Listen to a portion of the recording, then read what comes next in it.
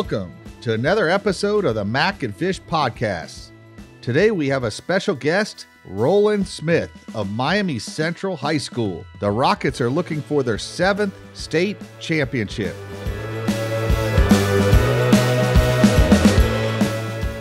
Welcome to the Mack and Fish Podcast. We have a very special guest today, uh, Roland Smith of Miami Central High School. Uh, today, we're going to be featuring him as one of not only the top coaches in the country, but also uh, in Dade County. He's been one of the top coaches for at least the past decade. Uh, we look forward to speaking with uh, Roland today. How are you doing, Roland? I'm doing good, uh, Fish. How you doing? Good, man. Doing good. We're also here with our co-host Corey Long.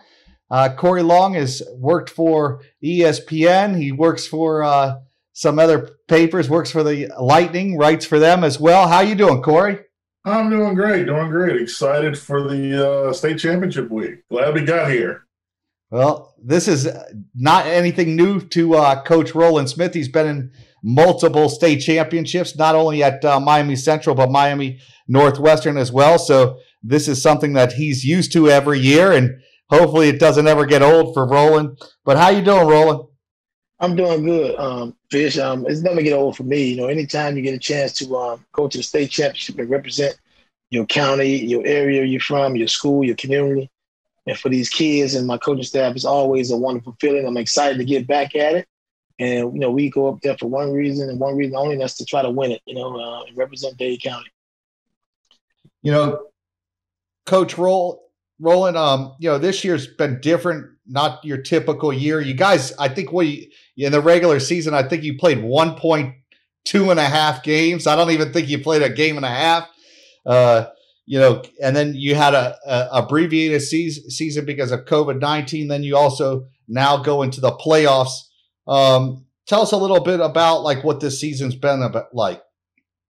Oh, this season's been unusual as usual. It wasn't a usual year. Um, boy, it was crazy. Um, you know, we had a decision to make at the beginning of the season whether we was going to opt in or opt out. I met with my coaching staff. I met with my administrative people. I met with my kids, and um, they wanted to opt in. You know, it, it was a risk-taking move that we decided to opt in because you know we started the season late because of the COVID nineteen situation, and um, it was spiked down here real bad, and the teams up north was able to start on time and play their regular games.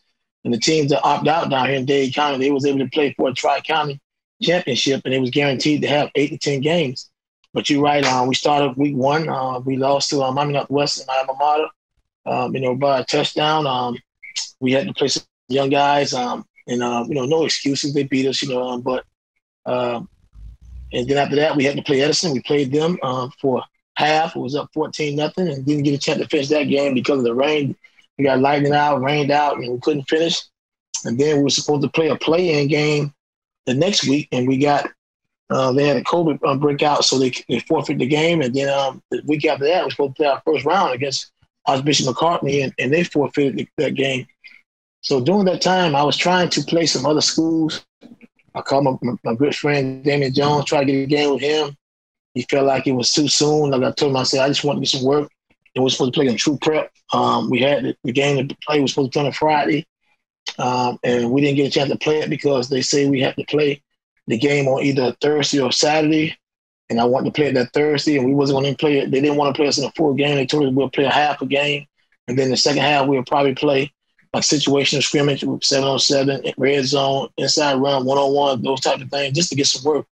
So um, I had to um, get my coaches together, and we had to go ahead and, and schedule a scrimmage, an inter squad scrimmage on that Saturday against ourselves, just to get uh, the game ready because um, I had a new quarterback. You know, some young guys off the line. I only had two returning starters on the line, so we just had to get our chemistry together. And I thought myself and my coaching staff did a tremendous job of getting these guys ready to go for the postseason. Um, with our first game, we played against Lely. Well, you know, you got to overcome a lot so far, and you, you guys are back in the state championship. Central's won six of those state titles. Before you got to Miami Central, they had great teams. You know, they had teams that got very close, but they never really accomplished accomplished that state title. Why have you had so much success there? Um, I think um, myself and my coaching staff, you know, I've, I've, surrounded myself with some great guys. Um, I had a, a, a, pretty good core that was with me for a minute. But um, did I have guys to leave? Yes.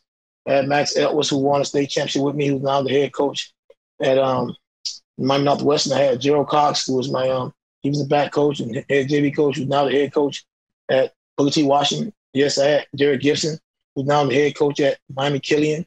You know, so I had some coaches to leave, but I was able to uh, replace them with some good assistant coaches that and it kept my foundation together pretty much. That's why, and, and the culture stayed the same. That's why I pretty much stayed the same as far as winning. You know, when you have a winning winning formula and you have a great coaching staff with you, uh, you know, and, and, we stick with our system, uh, we, we, we, it breeds success.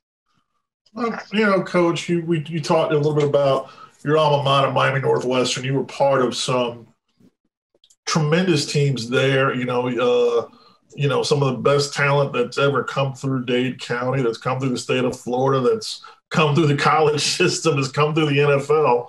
We're all on some of those Northwestern teams. Do you do you feel like your experiences at Northwestern help better help you know help you better help you prepare better for the success that you've had at Central?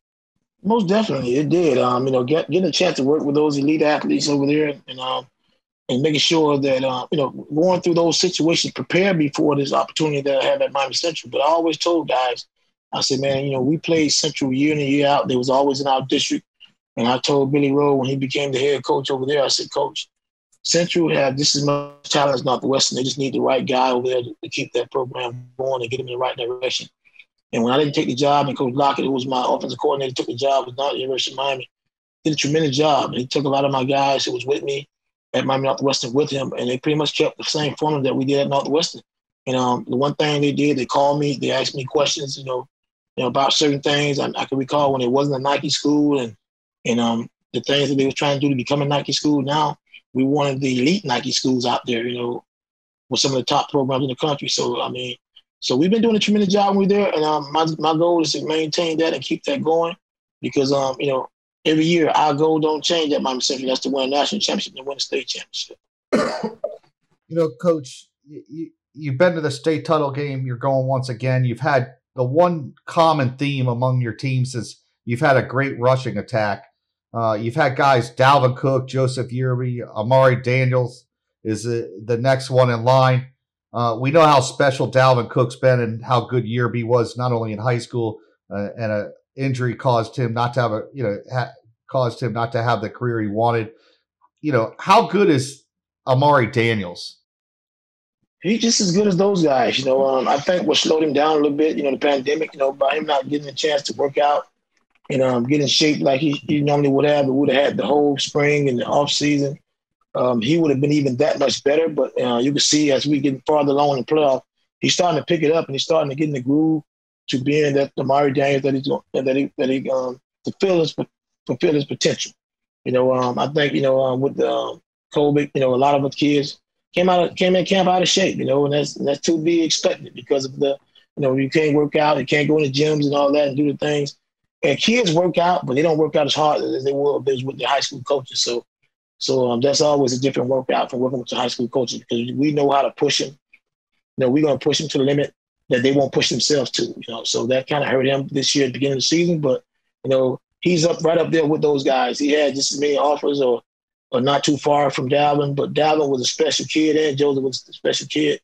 And not only were they special talents, and those kids were just great persons, man. I mean, that's why they had the success they had, you know, when they was in high school and the success they had when they was in college. And that's why Dalvin's having success he's having in the pro right now. Yeah. Coach, I'm gonna follow that question up. You know, you know, a couple years ago, I was at practice. I watched, you know, Amari Daniels. At I think was, he was either a freshman or sophomore. I remember one of your coaches called out a linebacker and he said, "Hey, listen, we're gonna Daniel's gonna come at you, block you." I mean, he basically told the linebacker what he was gonna do, and then he turned to Daniels and said, "Hey, do your thing." That's what I overheard him say. It was one of the hardest blocks I've ever seen in a practice. I mean, Amari just laid this kid out uh, how fit, how physical and punishing of a back is Amari? I mean, you may not think he's a physical back because he's not as big in stature. He's not one of those guys that's oh, that's going to wow you with his size, but he's got thick legs. He's very powerfully built, but he's a strong runner. You know, he's always been a hard runner. You know, since he was a ninth grader. You know, he's hard to tackle. He never goes, pretty much never goes backwards. He always falls forward. and he always uh, pushing for more yards. So he's one of the most physical runners, not just fastest runner, but physical runner with that with that speed that I've ever coached. And I coached some great ones. Now, now, coach, you're you're back. You're back in the in the state championship game where you know it seems like it seems like it's a there's a spot reserved for you every year. Um, given everything you've went through this year, how much how much how rewarding is would winning a state title mean for you given the current environment? Oh man, I mean, if we are able to go to Tallahassee and win a state championship, it probably I would probably have to put that up there to one of the best um, accomplishments that we had to do as a coaching staff because with very little time with our kids and, and, and to be able to go in the weight room like we normally would have because you know, so much that we had to do as far as cleaning and making sure we stand sanitized. This will have to be probably one of the best ones I'll probably enjoy because of what we had to go through. So um, we got to accomplish it first, but um, I think I would enjoy it just like it was my first one because that first one was really special to me too as well. Hey, you know, Coach, we you're you're one of the best coaches to ever come through Dade County. I mean, you know, your name is right up there with Walt Frazier, and you know, guys like Don Soldinger and, and, and obviously Billy Rolle, someone that was very important to you in your life. And, you know, I would go as far, you know, you're right there with those guys. I, I live in the Tampa Bay area, and trust me, you've tortured many a tremendous Tampa Bay area team during your tenure at Central. So they would, they all here would say you were the greatest ever coach. But at, at some point, you know, when you look at everything that you've done at Central, all the titles that you won, do you, are you, are you, are you, are you happy where you are? Do you start thinking about maybe I want to try things out in college? Maybe you know go go maybe take an assistant job at college. I know you've probably had offers before. What what really keeps you what keeps you grounded? What keeps you motivated to continue to do what you're doing at Central? The kids, the community. Um, you know, will I want to be do have an opportunity to go to collegiate level? You know, if, if that comes, the right situation comes, if it's what God want me to do, I would probably look into it, but um, I'm happy where I'm at right now. I have a great administrative staff that give me the support that I need to be successful. A great principal, great AD, you know, and, and, and the community is, is wonderful, man. So that's why I haven't left yet. But um, it would take a great uh, situation for me to move. But um, as long as um, I'm happy and they treat me right, and and um, I'm still got a competitive edge like I do year in and year out, I'm going to be a, a rocket until you know something else come up that's better than what I'm doing right now. So I'm just happy and thankful for Gregory Bethune for giving me the opportunity to um, coach after I was out, out of coaching for six years when I took that time off to spend some time with my son and, and be a father to him, you know. And I've been there ever since. So I just want to thank him for that. Well, coach, man, we were we're very happy to have you on. You know, I've always, you know, since I've been in this business, the first time I walked into your school, you always accepted me as you know, one of the guys, and I always appreciate that because you know I wasn't an outsider, you know, not being in the football community as far as a coach. I remember coming in, you've always accepted me and, and been very helpful for my career, and I always appreciate that. you you've also been a great friend. We've we've done camps together, we've been around together, and and and I wouldn't be a I wouldn't be in the position I am right now if it wasn't for people like you. And I've always you know would like to thank you and appreciate that, but I, am glad you came on, and and I look forward to you guys bringing back another state championship to back down to Dade County where it belongs. And you know, good luck this week, and um, you know, I wish you nothing but the best. Thank you, uh, Fish. Um, uh, the thing I want to do and my staff want to do, since we're the only public school in Dade County going to represent South Florida, um, they not South Florida, but Dade County. Uh, we're going to go up there and give it a ballot effort to try to bring this thing back because it's not just for Miami Central, but it's for the whole community all of Liberty City and all of Dade County. I was rooting for Palmetto to go with us as well. But um, you know, hey, we will we'll carry the city on our back. So thank you for having me. Thanks, Coach. I uh, I was uh, covering the Bucks game today, so I got a chance to see one of your one of your favorites. Did it got the first 100 yard game against the Bucks this season? I actually ran. I thought he ran exceptionally well, and he's he's great. You know, doing uh media stuff afterwards. He's he's great. He's fun. He's just he's always positive. I was really happy to catch up with Dalvin for a few minutes, even if through Zoom, just to just to you know he seems real happy.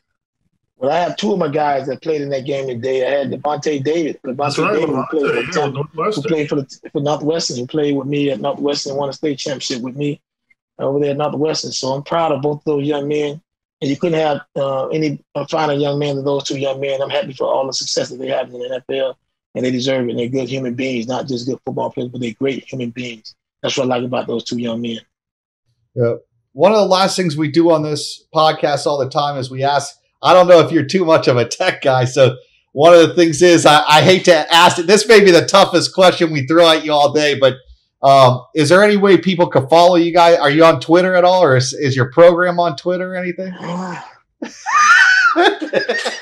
I knew it was coming, man. I had to ask, but I'm not a Twitter guy, and I always tell my guys to stay off their Twitter, man. Don't get no teams, no type of bulletin board material because I don't know. A lot of teams they they, they tend to think they can t- um, talk this game, and I like to tell them I'm old school. We we gonna we gonna walk the walk. We're not gonna talk the talk. When we show up, then we gonna make our pass and our helmets do all the talking. Okay. if, if somebody wants to follow you, I'll just give them your phone number, I guess. All right.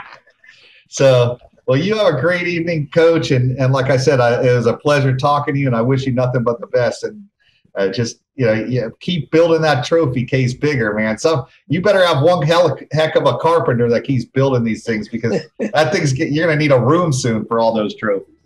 Uh, thank you, Fish, and uh, thank you, um, Chuck, Long, for having me, and I appreciate you guys having me tonight.